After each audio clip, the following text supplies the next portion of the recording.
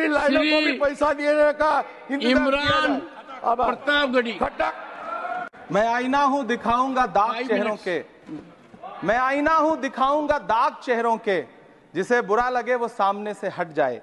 सभापति महोदय दुनिया के सबसे बड़े लोकतंत्र का महापर्व चुनाव गुजर चुका है।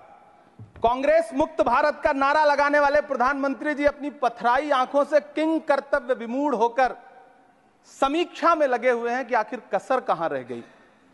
सभापति महोदय, सारे प्रहसन किए गए।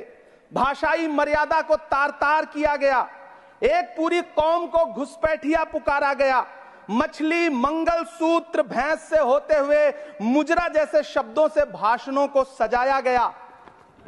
चुने हुए मुख्यमंत्रियों को जेल भेजा गया। महाराष्ट्र में राजनीतिक दलों को तोड़ा गया, उनके सिंबल छीने गए, चाहे वो शिवसेना हो, चाहे वो एनसीपी हो। विपक्ष के सबसे बड़े दल के बैंक अकाउंट को फ्रीज किया गया। उसके बाद मोदी सरकार चुनाव लड़ने के लिए जनता के दरबार में गई, लेकिन वाहरी जनता जनता ने दिखा दिया कि दर्द की हद से गुजारे तो सभी जाएँगे। दर्द की हद से गुजारे तो सभी जाएँगे। तैरे या डूबे किनारे तो सभी जाएँगे। कोई कितनी भी बुलंदी पे चला जाए, मगर आसमानों से उतारे तो सभी जाएँगे। जनता ने दिखा दिया इस देश की। मैं महामहिम राष्ट्रपति महोदया के भाषण पर चर्चा करने के लिए, अभिभाषण पर चर्चा करने के लिए यहाँ खड़ा हुआ।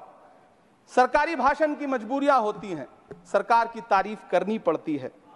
लेकिन जिस एक शब्द के इर्द गिर्द पूरा भाषण बुना गया था, वो था अमृतकाल। सभापति महोदय, छात्र नौकरी मांगने पर लाठियाँ खा रहे हैं। दो जून की रोटी मुहाल है। पेपर लीक ने लाखों छात्रों का भविष्य चौपट कर दिया है और देश को बताया जा रहा है कि अमृतकाल आया है। कभी कभी मेरा मन करता है कि मणिपुर में निर्वस्त्र करके घुमाई गई बेटियों से पूछूँ कि अमृतकाल आया है या नहीं आया है। कभी कभी मेरा मन करता है, सभापति महोदय कि देश के लिए ओलंपिक लाने वाली बेटियाँ जो इसी जंतर मंतर पर घसीटी गई, उनसे पूछूँ कि अमृतकाल आया है कि नहीं आया है। कभी कभी मेरा मन करता है कि रात के दो बजे बिना परिवार की मर्ज़ी के हाथरस में जलाई गई उस दलित बिटिया जो बलात्कृत थी, उसको स्वर्ग में संदेशा भेजूं और उससे पूछूँ कि आया हुआ अमृतकाल तुम्हें दिख रहा है या नहीं दिख रहा है। कभी कभी मन करता है कि मैं बिल्किस बानो से पूछूँ कि देश में आया हुआ अमृतकाल तुम्हें नज़र आ रहा है या नहीं आ रहा है? सभापति महोदय कभी कभी मन करता है कि भीड़ के ज़रिए लिंच करके मारे गए पहलू खान की पचासी साल की दोनों आँखों की अंधी माँ से पूछूँ कि देश में आया अमृतकाल तुम्हें दिख रहा है या नहीं दिख रहा है? कभी कभी मन करता है कि ईद के कपड़े खरीद कर लौट रहे सत्रह साल के हाफिज जुनैद से पूछूँ, जिसे बल्लभगढ़ में ट्रेन में लिंच करके मार दिया गया कि अमृतकाल आया है या नहीं आया है। कभी कभी मन करता है नजीब की माँ से पूछूँ कभी कभी मन करता है कि तवरेज अंसारी की विधवा से पूछूँ कभी कभी मन करता है कि सहारनपुर के उन तीन बच्चों से पूछूँ, जिन्हें छत्तीसगढ़ में लिंच करके मार दिया गया।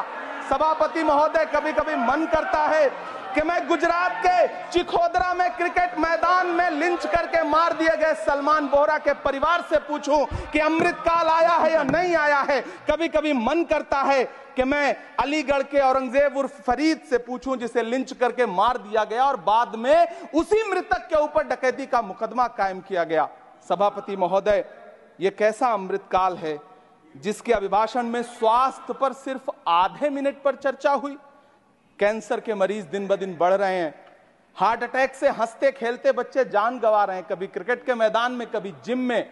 और इस सरकार के पास स्वास्थ्य पर बात करने के लिए आधा मिनट है। सभापति महोदय, कोविड वैक्सीन को लेकर के लंदन की अदालत से जो तथ्य देश के सामने आए हैं, उन्होंने भय फैला रखा है।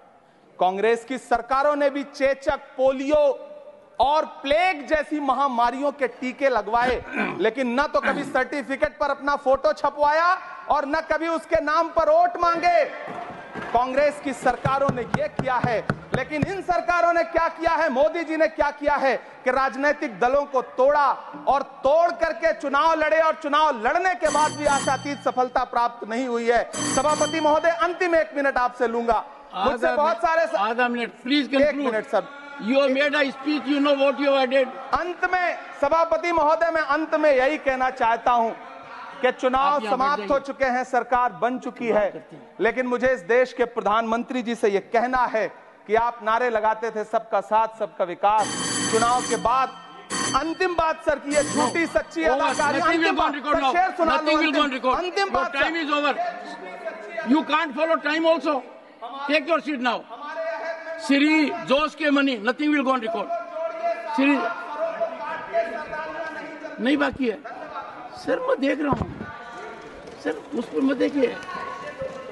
Thank you sir Pramod ji on the point of time सुनिए sir. I am losing my time sir आप भी बोल लीजिए। डायलॉग सिंह जी भी बोल लें। कितने एडवाइजर्स हैं आपके बता दीजिए।